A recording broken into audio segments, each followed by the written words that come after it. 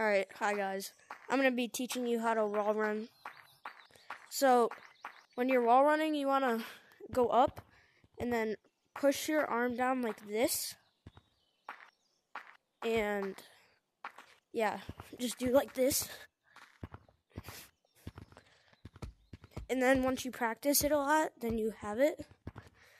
It takes a lot of practice, but yeah, that's how you wall run. That's the basics. Just practice it.